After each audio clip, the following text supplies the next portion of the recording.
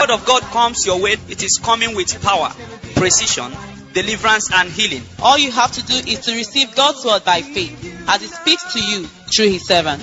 You can now relax as I invite God's servant, Bishop Maxwell C. Korie, to preach. Yes, I know everything's gonna be alright in Christ. Lift your hands and praise His name. I bring you greetings of joy in the precious name of our Lord Jesus Christ. Amen. Thank God for another wonderful new day that our Father in heaven has made. We will rejoice and we will be glad in it.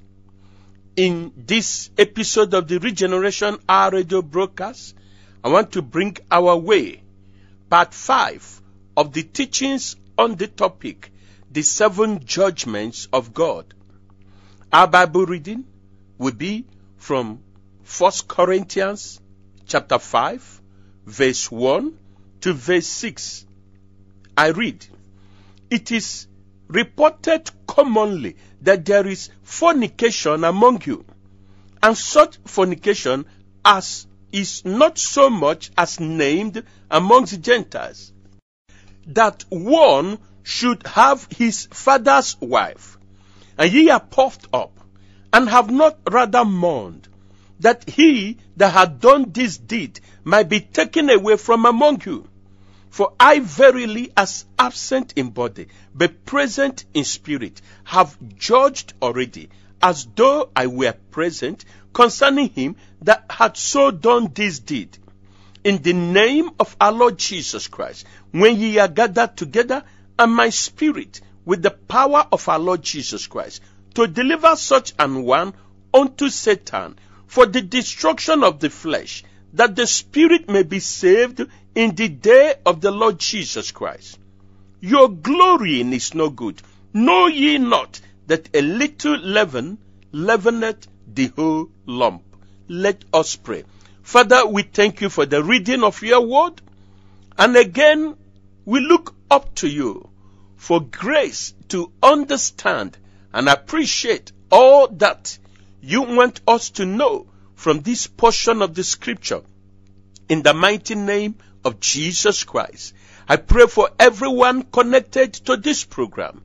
And I say, Lord, thank you for bringing us into this new month, the beginning of the ember months.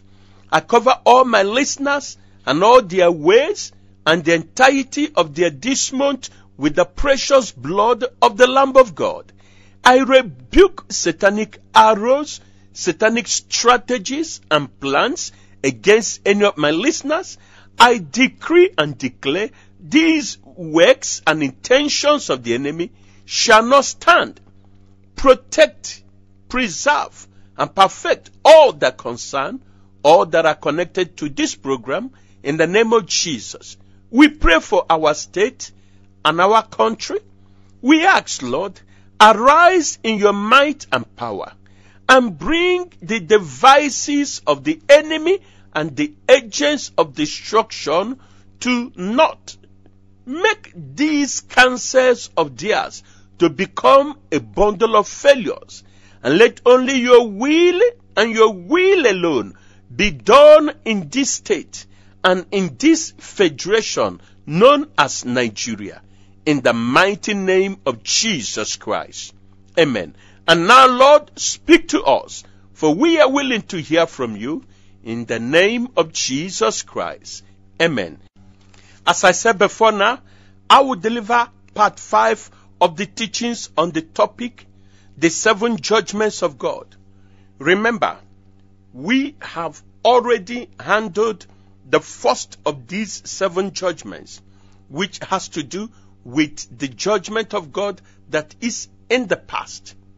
This second judgment of God is the one I began to teach on last week in this program. And I told us this second judgment is known as the ongoing judgment in the life of a Christian believer. By the grace of God, from next week, I will begin to teach on the future judgments of God, which are really the judgments that people know generally as judgments to come. Not everybody do consider the past judgment and this ongoing judgment as part of the seven judgments of God. But from the scriptures, they are. So, by the grace of God, I will make efforts to round off the teachings on this second type of divine judgment, which I delivered one of it last week. This judgment is known as the ongoing judgment in the life of a born again child of God, which is done on a daily basis and is intended to help the believer, the Christian believer, to examine his day to day activities and lifestyle in the light of the Bible in order to prevent the believer from conforming to the worldly standards of living, in order to help the believer not to become comfortable with sinful lifestyles. I want you to take note of verse 4 and verse 5 of our text, which is 1 Corinthians chapter 5. In this verse 4, Apostle Paul pronounced judgment in the life of a member of the church in the city of Corinth who was living in sexual immorality. And Apostle Paul said, In the name of our Lord Jesus Christ, he was talking to the church there, when you are gathered together, and my spirit with the power of our Lord Jesus Christ, that such a brother should be handed over to Satan for the destruction of his flesh, that his spirit might be saved in the day of our Lord Jesus Christ. Now, I want you to get this. In Ephesians chapter 4, verse 1, Apostle Paul exhorted the church at Ephesus to walk worthy of the calling of our Lord Jesus Christ. That it is a calling we have received as children of God through faith in Christ Jesus. And by this, when we walk worthy of this calling, we will be able to fulfill God's redemptive purpose in our lives. As children of God, who are called unto holy living. First Peter chapter 1, verse 15 says, But as he which has called you is holy, so be ye holy in all manner of conversation. Therefore, as children of God that are called unto a holy lifestyle, there are things we must endeavor to do in order to walk worthy of this calling of God in our lives. Number one, we must put off the old man, which refers to the old sinful Adamic nature and all its evil activities.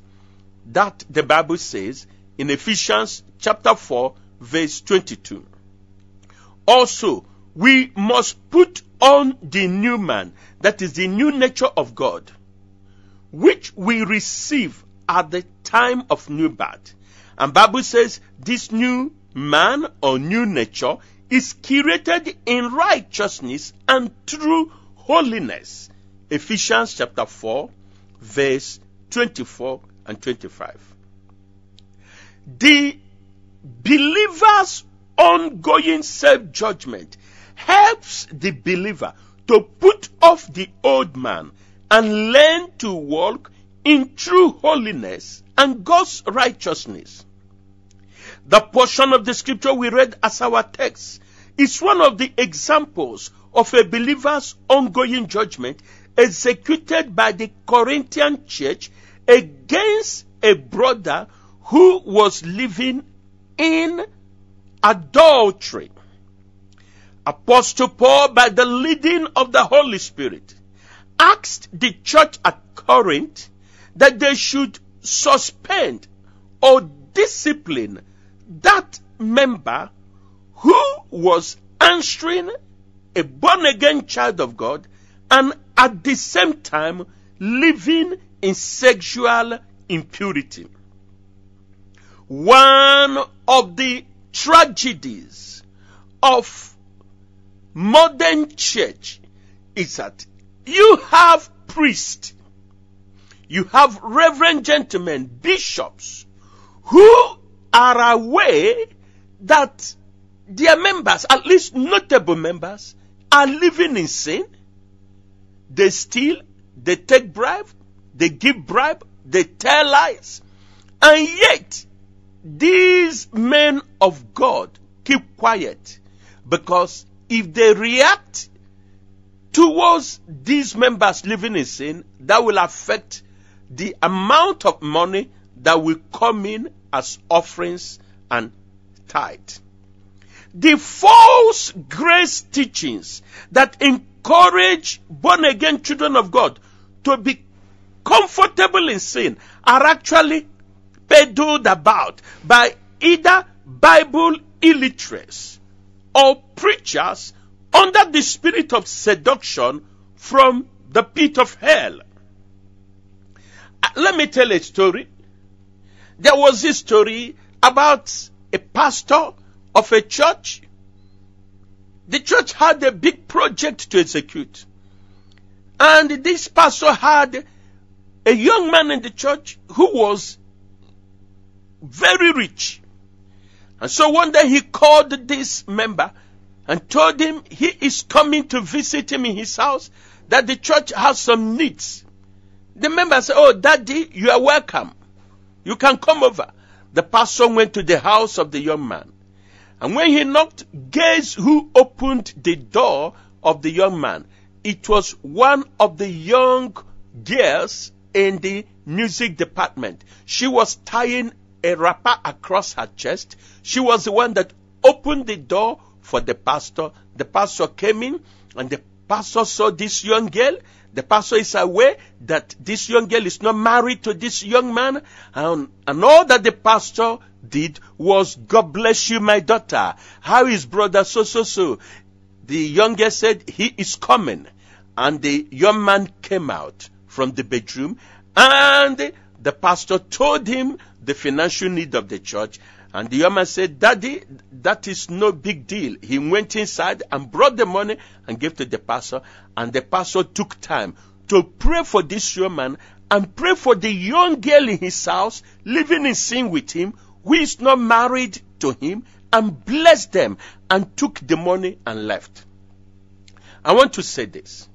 When you go to a church where sin is not rebuked, where corrections are not done, then that priest or pastor is interested in your money, not in your eternal destiny.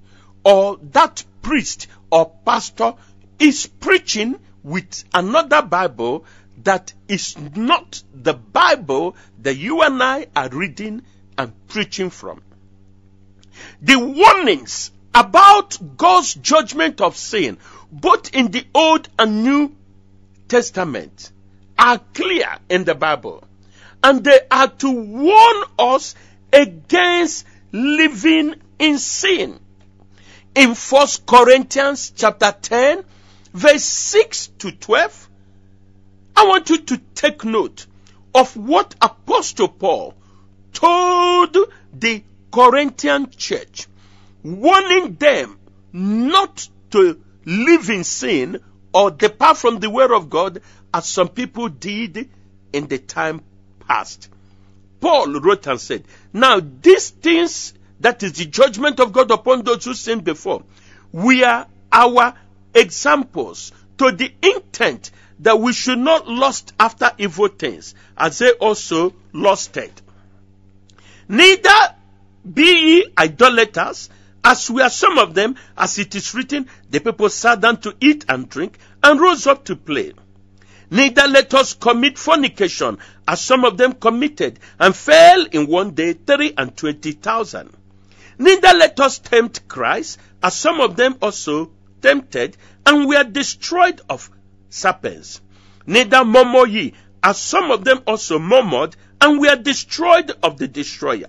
Now all these things happen unto them for ensamples, and they are written for our admonition, upon whom the ends of the world are come. Wherefore, let him that thinks that he stands take heed, lest he do what? Lest he fall. So here, Apostle Paul, the chief preacher of grace in the New Testament, was warning the brethren in the city of Corinth and said, Look, you don't need to answer a born again child of God, and you live a life of murmuring, telling lies, immorality, and so on and so forth. And you think it will go away with you. No. God has not changed. God loves sinners, but hates sin. When Jesus carried our sins, God turned his back on him. That for a moment, that was why he shouted at the cross of Calvary, "My God, my God, why hast thou forsaken me?" If the Father did that with the Son, then who are you to think you will be carrying sin and uh, the receiving the favorable face of God? Maybe you can be living in sin and still be making money and prospering. In that case, God is giving you Ishmaelite settlement. Ishmaelite settlement is a gift. The blessings you give to some to settle them, but they are not part of the ultimate blessings and covenant. Like it happened with Abraham. He gave gifts to all the children that were born to him outside Isaac and sent them away. But the covenant, the blessing was with Isaac. There are people in the church, they give money. God settles them and make sure that his word is fulfilled. Give, it shall be given unto you. And they go with that, but they are not part of the kingdom because they, they are not living as people that belong to the kingdom. We are shouting these things not to bring anybody down or criticize anyone, but because it has to do with the eternal state of souls. Anybody that knows what eternity is, and that if you don't preach the truth, if you preach a compromised gospel, that may lead some ignorant souls to perish in hellfire forever and ever, and fails to do the right thing, is a wicked person. Now, let's get back to it. I'm talking about the ongoing judgment in the life of a believer, which is done regularly on daily basis in the light of the word of God to protect the believer from conforming to sin or becoming comfortable in sin and miss what God has for him or her at last. These ongoing judgment in the life of a believer are carried out by three groups of people. I want to quickly mention them and pray for you. Number one, you as a believer in our Lord Jesus Christ, you are the first person that carries out this judgment. For in Christ Jesus, we have the privilege and honor of self examination or self judgment of our lives and activities in the light of the Word of God.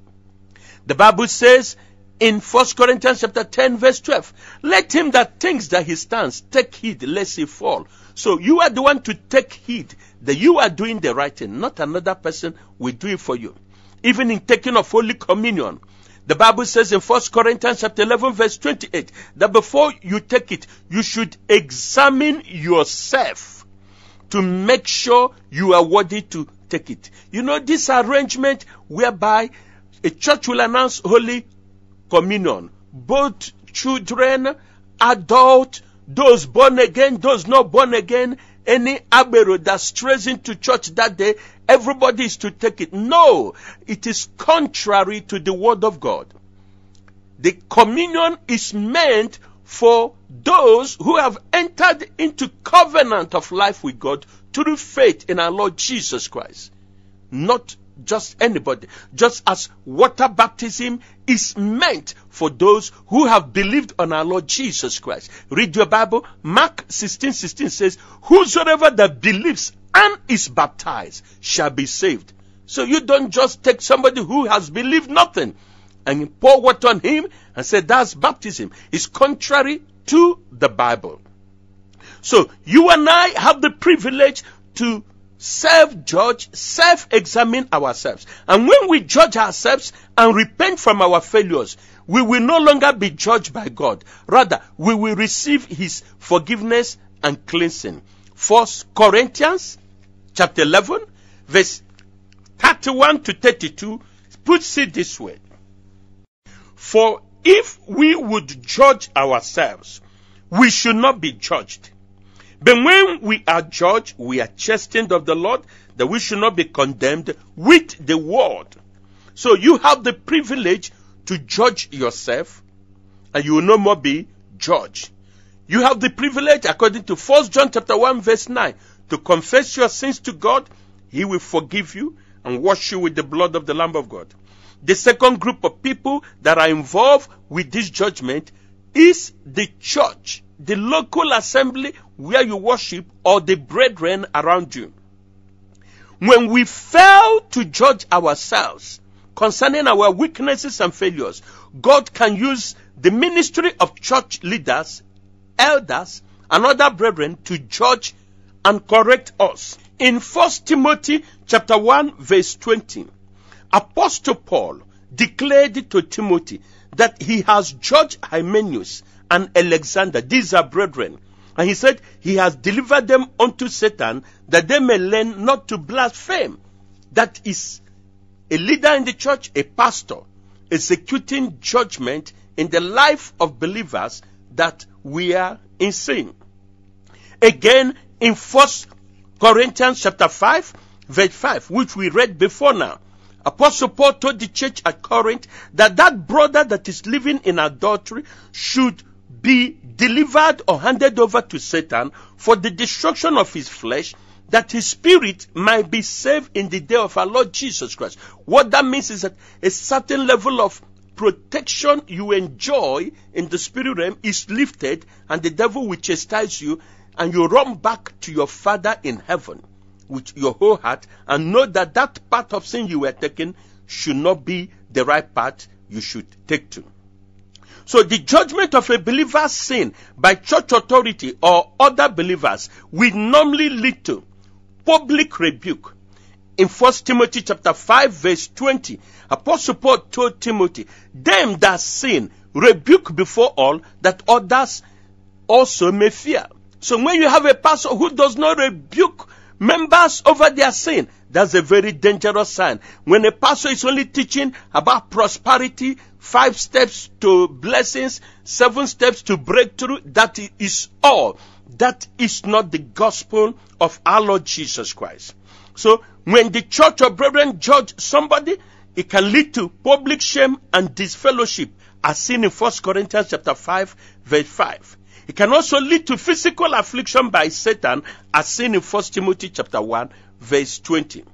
Finally, the third person that can judge a sinning believer is God.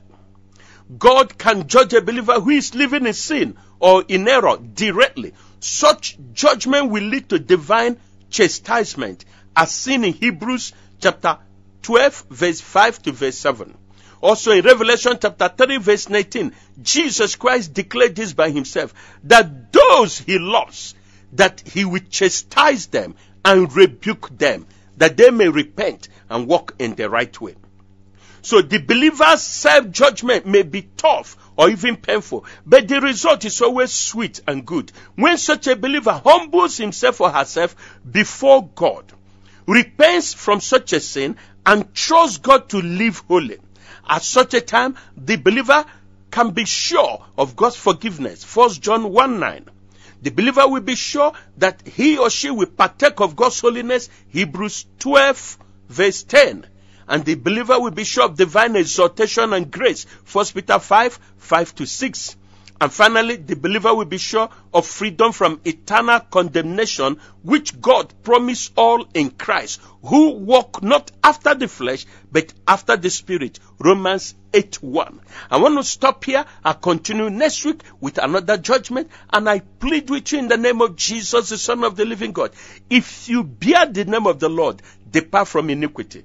And if you are not yet born again, why must you perish in hellfire? Jesus Christ offers salvation full and free to him. Just invite him. Your sins will be washed away. You will receive the power to be a child of God. Let me pray for you briefly. Father, in the name of Jesus, I rebuke the power of sin away from all that listen to this message. I ask that your hand rest upon them for good as you perfect your salvation in their lives. In Jesus' name. Amen. Till the same time next week, this is your brother Bishop Maxwell Chimnechetam Korie saying, God bless you.